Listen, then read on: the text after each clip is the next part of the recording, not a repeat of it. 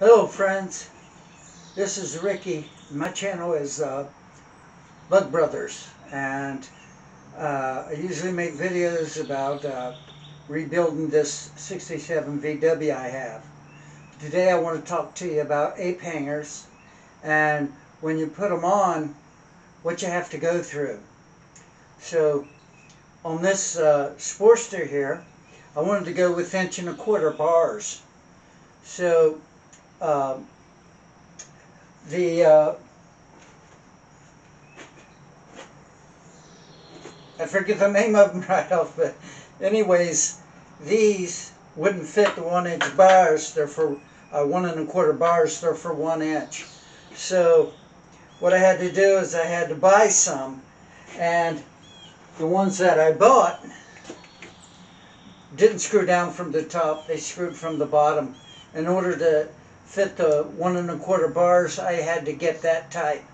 And anyway, it didn't have, like you see right here, I don't know if you can see it, but it doesn't have the holes here and here for to bolt the speedometer on.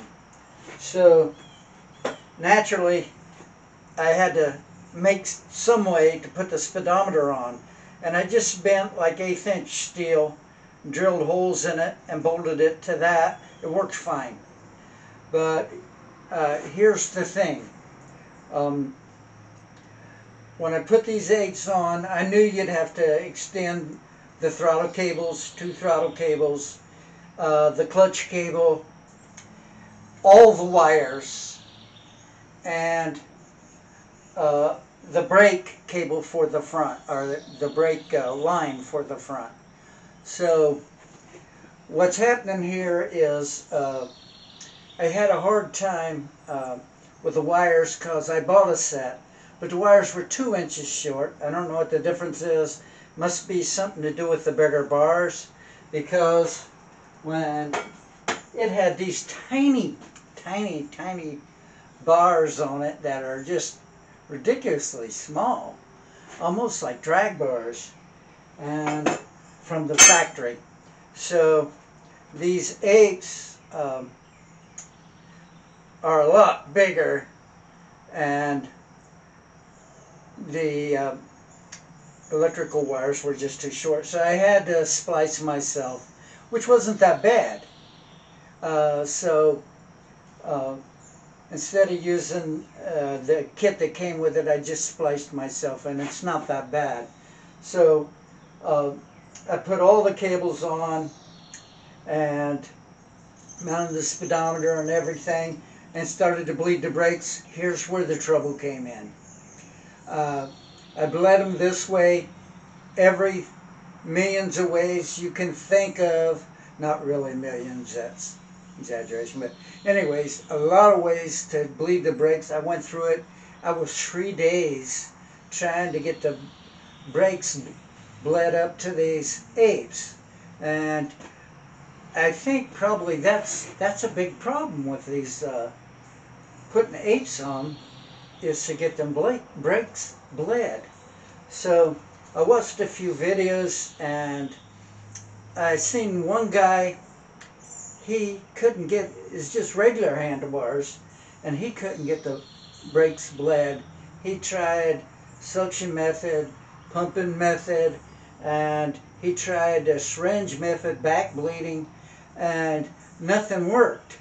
And it seemed like he didn't really say anything. Then all of a sudden, he had somebody hold the caliper up, and he put some uh, he put some uh, cut off uh, saw tools just for the width inside of the caliper to hold the brakes apart, and then he did it the traditional way, pumped and bled it that way with somebody holding it.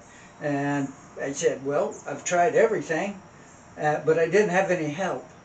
So what I did was I uh, took the caliper off and un unscrewed the brake line, fed it through the forks, and then after I thread it through the forks, I put it back on the caliper and I hung it right up here on this nail. right here.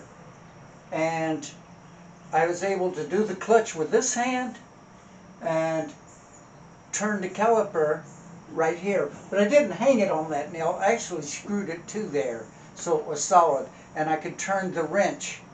So I would pump, turn the wrench, bleed it into a bucket I had hanging here. And after about four or five pumps, I started to feel a brake pedal. I was so happy. But uh, I finally got it bred, bled, and I remembered watching one guy on uh, one of his videos. He said that when he bled the brakes, um, that air always goes up. So if you get air trapped in the master cylinder, there's no way to get it out. I mean, I washed the bubbles and everything like they say, but it just wouldn't come out of the master cylinder. The air wouldn't, no matter what I did. So when I hung it up there, um, it seemed like the air just ran right up and it was gone. I let it out the bleeder screw.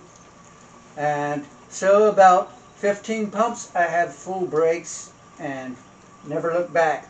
Well, I had to unscrew it, feed the line back through, screw it up, put the caliper back on, and I had no brakes. So I bled them a couple times, come back up. So I think it's because I got some fluid back in the master cylinder again. So uh, if you're having a problem with that, get somebody to hold it up or screw it to the wall like I did. And I hope this video is helpful to somebody. And I want to tell you a little story about apes. Uh, when I was a kid, we rode bicycles. Uh, we had like a bicycle gang and we would ride and pretend like we was motorcycle gang or something like that.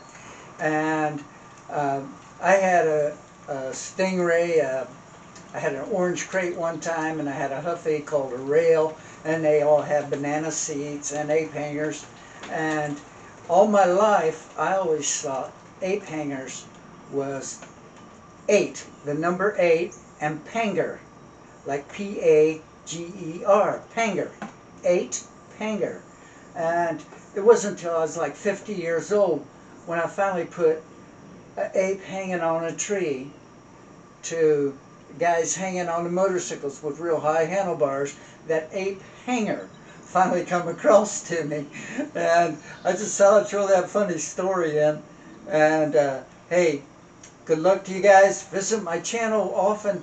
And uh, if you like uh, VW Beetles, here's where you you can watch some uh, stuff on it.